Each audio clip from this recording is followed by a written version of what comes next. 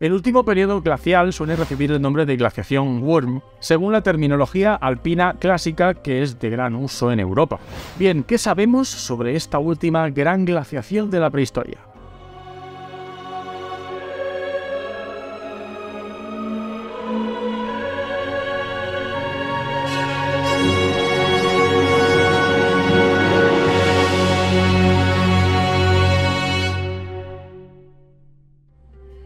La última glaciación, que según la terminología alpina clásica es la glaciación Worm, constituye el último pleniglacial, anterior a este estado interglaciar en el que estamos viviendo hoy en día, y comprende los estadios isotrópicos desde el OIS 5D hasta el OIS 2 abarca entre hace 118.000 años y 11.784 años. El comienzo de este ciclo glacial coincide con el mínimo de insolación con el inicio del último ciclo de excentricidad orbital de 100.000 años e incluye internamente momentos de mayor o menor insolación debidos a los otros dos ciclos orbitales de Milankovic de los que ya hemos hablado. Este enfriamiento, que empezó hace unos 115.000 años, tuvo por supuesto variaciones según la latitud. Por ejemplo, en zonas frías de por sí, estas bajadas de temperaturas, las temperaturas medias llegaron a descender 15 grados, siendo de hasta 23 grados de bajada en el caso de la Antártida. Por supuesto, en zonas más tropicales los descensos fueron como mucho de 5 grados, pero eso sí, vinieron acompañados de disminución en las precipitaciones, de modo que las selvas y los bosques tropicales fueron reemplazados por ambientes más tipo sabana. El momento de mayor bajada de temperaturas de esta glaciación ocurrió hace 22.000 años aproximadamente y recibe el nombre del último máximo glacial.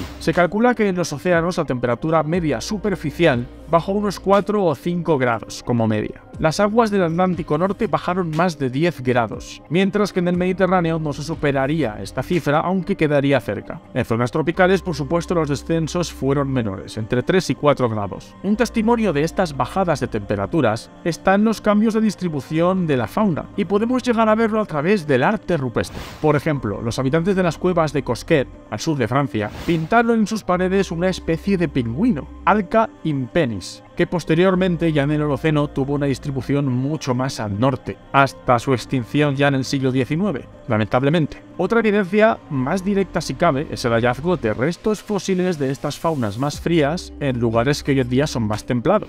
Por ejemplo, restos fósiles de este mismo pingüino de Alcain penis aparecen entre los restos de fauna consumidos por los antiguos habitantes de la cueva de Nerja en el sur de España, que se han datado como de hace alrededor de 30.000 años. Además, junto con los huesos fósiles de estos pingüinos en la cueva de Nerja, aparecen también fósiles, aparecen también huesos de foca pitulina, una especie de pinnípede que actualmente vive única y exclusivamente en el Atlántico Norte. También se registra a finales del último pleniglacial, alrededor de hace 40.000, 30.000 años, la presencia del mamut lanudo Mamutus primigenius en el yacimiento de la turbera de Padul en Granada, al sur de Sierra Nevada. Como consecuencia de este frío, mantos de hielo cubrían gran parte de los continentes del hemisferio norte. Por ejemplo, el casquete laurentino llegó hasta abajo del paralelo 50, llegando hasta la latitud 36 en el caso de la costa este americana, ocupando 16 millones de kilómetros y teniendo un espesor que variaba entre los 3.000 y los 4.000 metros. Por su lado, en el continente euroasiático, el manto de hielo fino escandinavo se extendía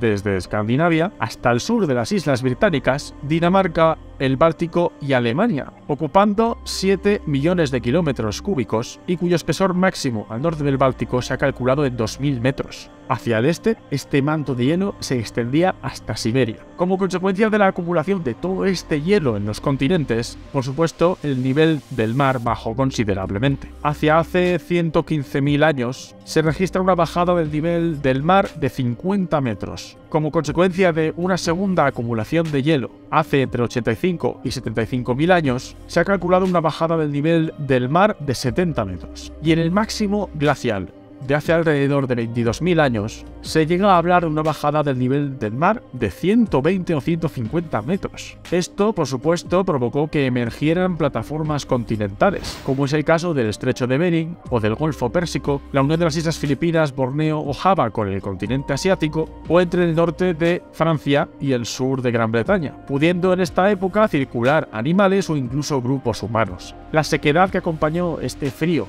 del último máximo glacial hizo que por supuesto predominaran condiciones áridas, quedando las altitudes medias ocupadas por el permafrost y la tundra, y pasando a tener estepas en las zonas más mediterráneas, llegando a descender las nieves perpetuas del Kilimanjaro, y los ambientes de selva y de bosque tropical se redujeron a favor de ambientes de sabana. Y es en estas condiciones tan duras cuando nuestra especie llegó a desarrollarse culturalmente, dando lugar, por ejemplo, en estas cronologías al nacimiento del arte. ¿No es increíble? Pues para seguir indagando sobre estos temas, no puedes perderte los vídeos que estamos preparando y que publicando en este canal. Así que recuerda, suscríbete al canal, dale al botón de la campanita para recibir notificaciones por cada vídeo nuevo. Recuerda seguirnos en nuestras redes sociales de la Fundación Palarc y pásate de vez en cuando por nuestra página web, ya que allí podrás encontrar la última actualidad, las últimas noticias acerca de arqueología y paleontología humana. Te invitamos a que nos acompañes en este apasionante viaje por nuestra historia. Muchas gracias.